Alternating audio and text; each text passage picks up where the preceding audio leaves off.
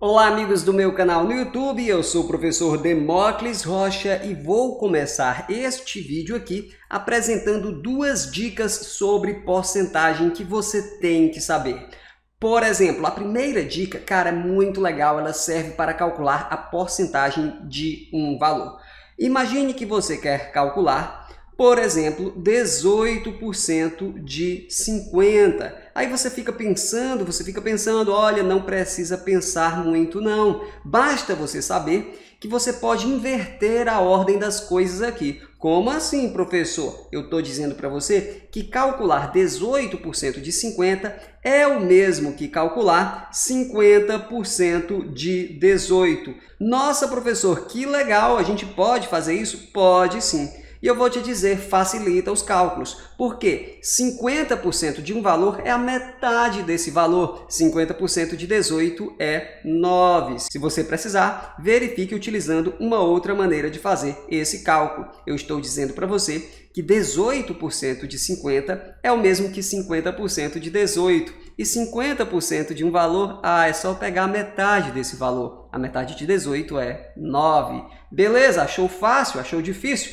Tente resolver esse aqui antes de mim. Quanto que é 26% de 50? Você pode utilizar essa técnica. Quanto que é 26% de 50? Espera aí, professor, deixa eu ver se eu entendi. Você está dizendo que isso vai ser o mesmo que 50% de 26, não é verdade? Exatamente. E 50% de um valor é só pegar a metade desse valor. A metade de 26 é 13. Então a gente pode concluir sem muito esforço e dizer que 26% de 50 é 13, até porque 50% de 26 é a metade de 26 e é 13 também. Nossa, professor, isso é muito legal, isso vai facilitar os cálculos em algumas questões, na verdade? Vai mesmo. Agora, deixa eu te perguntar, quanto que é, por exemplo, 16%, veja só, Quanto que é 16% de 25? O professor aí está complicando. Tá complicando não, cara. Raciocina. 16% de 25, eu estou explicando que é o mesmo que 25% de 16. Agora, tu já sabe que 25% de um valor é um quarto desse valor. É só dividir por 4. 16 dividido por 4 é 4. Conclusão: 16% de 25 é 4, porque é o mesmo que 25% de 16, isto é, um quarto de 16. Será que você entendeu mesmo? Será que entendeu mesmo? Se entendeu, já deixa aquele like. Se você entendeu, tente fazer esse cálculo aqui. Quanto que é 20%? Quanto que é 20% de 25? Dá para fazer com cálculo mental? Claro que dá porque isso é o mesmo que 25% de 20. Fala, professor, dá o mesmo valor, né? Exatamente. Eu estou dizendo para você que 20% de 25 é o mesmo que 25% de 20. E 25% de um valor é um quarto desse valor. Um quarto de 20 é 5. Conclusão, 20% de 25 é 5. É claro que fica mais fácil utilizar essa dica quando a gente tem 50 aqui, porque 50% de um valor é a metade do valor. É claro que utilizar essa dica é mais fácil quando a gente tem 25 aqui, porque 25% de um valor é um quarto desse valor. Então, sempre que você for calcular uma porcentagem de 50 ou uma porcentagem de 25, tente utilizar essa dica que é sucesso. A nossa próxima dica sobre porcentagem diz respeito a questões com aumento ou então desconto. Cara, a dica é você criar colunas. Você vai criar uma coluna para os valores em reais, você vai criar uma coluna para as porcentagens correspondentes. Essas duas colunas vão corresponder a grandezas diretamente proporcionais. Aí você resolve com uma regrazinha de três simples. Basta multiplicar em cruz e igualar os resultados. Vamos imaginar que o valor original de um produto era de X reais. O valor original corresponde a 100%. Vamos supor que houve um aumento de 20 reais. E digamos que esse aumento de 20 reais corresponde ali a 2% do valor original do produto, ok? e digamos que a questão pede o valor final do produto já com o aumento. O valor final do produto já com o aumento vai corresponder, veja só, a porcentagem inicial que era 100, mais a porcentagem do aumento que era 2, então 102%. Então, para resolver um problema assim, você não precisa do valor original do produto. Basta saber o valor do aumento e a porcentagem que corresponde a ele, que assim você determina o valor final do produto após o aumento. Neste caso aqui, você multiplicaria em cruz e igualaria os resultados, porque os valores e as porcentagens correspondentes são grandezas diretamente proporcionais. Por um lado, você teria 2 vezes y, que é 2y. Por outro lado, você teria 20 vezes 102, que é 2040. Se você precisar, verifique. Dividindo aqui por 2 os dois lados, você determinaria o valor final do produto que a gente está indicando pela letra y. Dividindo 2y por 2, tu encontra y. Dividindo 2040 por 2, você encontra 1020. Sendo assim, o valor final do produto após o aumento seria de R$ 1.020 e você nem precisaria descobrir o valor original do produto. É claro que se você quiser descobrir o valor original, você pode, mas nem precisa. Resumo da segunda dica. Crie uma coluna para os valores, crie uma coluna para as porcentagens correspondentes. O valor original corresponde a 100%. Se for dado o valor do aumento e a porcentagem correspondente a esse aumento, você pode determinar o valor do produto após o aumento com muita tranquilidade. Basta multiplicar em cruz aqui e igualar os resultados. Agora está na hora de mostrar que você realmente entendeu essas dicas aplicando em questões. Se você apoia esta iniciativa, deixe o seu like. Se quiser ficar sabendo dos nossos próximos lançamentos, inscreva-se no canal e acione o sininho das notificações. Vamos lá! Em um concurso, Matias acertou 60% das 25 questões de matemática e 80% das 25 questões de língua portuguesa.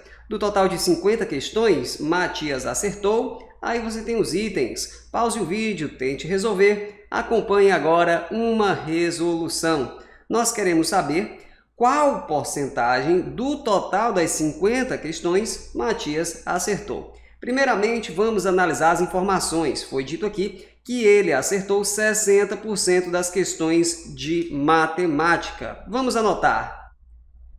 Ele acertou 60% das 25 questões de matemática, então 60% de 25. Também foi dito que ele acertou 80% das 25 questões de língua portuguesa, então 80% de 25. Professor, então a gente pode começar calculando 60% de 25, não é verdade? Exatamente. E olha, eu vou te dizer, é muito fácil se você souber essa dica. Você pode inverter a ordem das coisas aqui. Calcular 60% de 25 é o mesmo que calcular 25% de 60. Exatamente. Vala, professor, e pode fazer isso? Pode sim.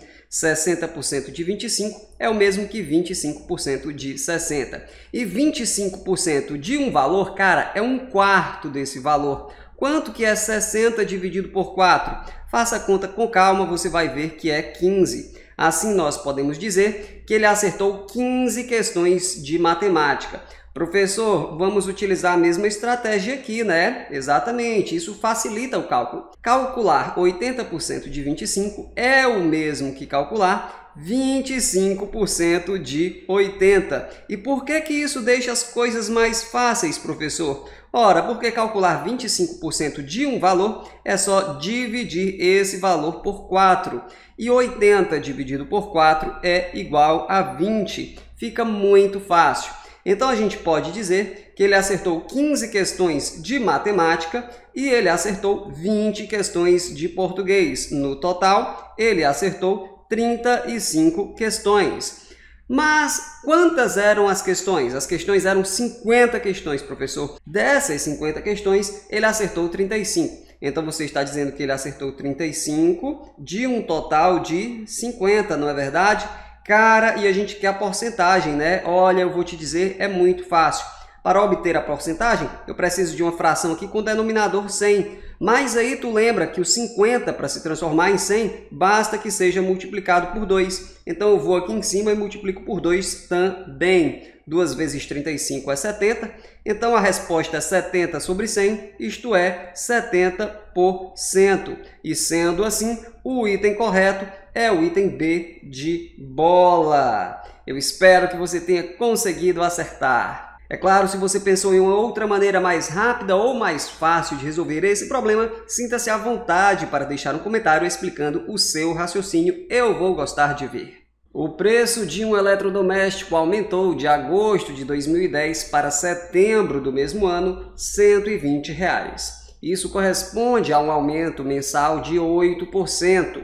O valor desse eletrodoméstico em setembro de 2010 era, em reais, um número. Aí você tem os itens, pause o vídeo, tente resolver, acompanhe agora uma resolução. O que o enunciado pede? Ele pede o valor desse eletrodoméstico em setembro de 2010. Bom, a gente vai trabalhar com dois meses, né? A gente vai trabalhar com agosto de 2010 e setembro desse mesmo ano, ok? De agosto para setembro houve um aumento. Aumento de quanto? Você vai dizer um aumento de 120 reais, beleza? Ele disse que isso corresponde a um aumento mensal de 8%, beleza? Aí ele pede logo em seguida o valor desse eletrodoméstico em setembro de 2010. Pois muito bem, a gente tem dois momentos, a gente tem o valor dele em agosto, a gente tem o valor dele em setembro com o aumento, beleza? Eu vou organizar as coisas da seguinte maneira. Eu vou fazer aqui uma coluna para os valores em reais e eu vou fazer aqui uma coluna para as porcentagens correspondentes. O valor em agosto, eu não sei quanto que era, eu não sei, eu vou representar aqui pela letra X, tá? Mas o valor em agosto corresponde a 100%, tá? Era o valor ali original do produto. Mas o que aconteceu? Houve um aumento de 120 reais. Ele disse que esse valor do aumento, esses 120 reais, corresponde ali a 8%. Beleza? e ele pede logo em seguida o valor desse eletrodoméstico em setembro. O valor do eletrodoméstico em setembro eu vou representar aqui pela letra Y. E esse valor eu vou te dizer, é o valor original mais os 8%, portanto corresponde a 108%. Será que você entendeu? O valor original corresponderia ali a 100%, o valor do aumento, 120 reais, corresponde a 8% do valor original, né? E o valor do eletrodoméstico em setembro, após o aumento, corresponde a 108%. É o valor original mais 8%. Será que ficou claro? Se sim, já deixa aquele like. Beleza, galera? Pronto. Os valores e as porcentagens correspondentes são grandezas diretamente proporcionais. Professor, então, para resolver, você pode multiplicar em cruz e igualar os resultados. Exatamente, eu quero esse valor aqui, ó, o valor em setembro, já com o aumento. Então, eu vou trabalhar da seguinte maneira. Eu vou multiplicar em cruz e igualar os resultados. Acompanhe. Por um lado, eu vou ter 8 vezes y, que eu posso escrever 8y. E por outro lado, eu vou ter 120 vezes 108, que eu vou anotar bem aqui. Muito bem, está tranquilo, está favorável. Para determinar o valor de y, eu vou dividir por 8 os dois membros da equação. Do lado esquerdo, 8y dividido por 8 é apenas y, e do lado direito eu fico com o que eu já tinha antes, porém sobre 8. Alguns professores preferem dizer que o 8 que estava multiplicando aqui passou para o outro lado dividindo. Pois muito bem, vamos em frente. A gente pode simplificar as coisas aqui. Eu vou te dizer que 120 dividido por 8 é igual a 15. Se você precisar, verifique. Então, na prática, o que sobra é 15 vezes 108, que é igual a 1620. Eu estou dizendo para você que o valor desse eletrodoméstico em setembro, após o aumento, bom, esse valor passou a ser de R$ 1.620. E sendo assim, o item correto é o item A de avião, porque ele diz que o valor em setembro era maior do que R$ 1.600. Eu espero que você tenha conseguido acertar. Se você resolveu de uma maneira diferente, deixe o seu comentário com a sua explicação, eu vou gostar de ver.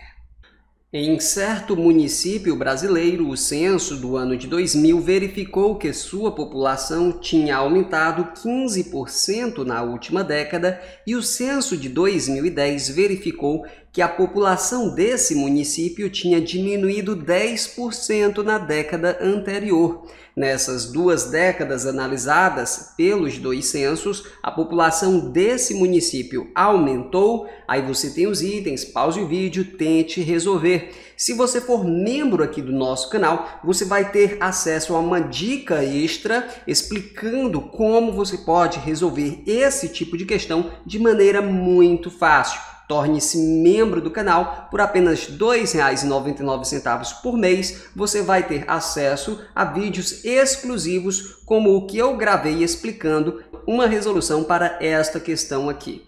A gente fica por aqui, um abraço e até a próxima. Tchau!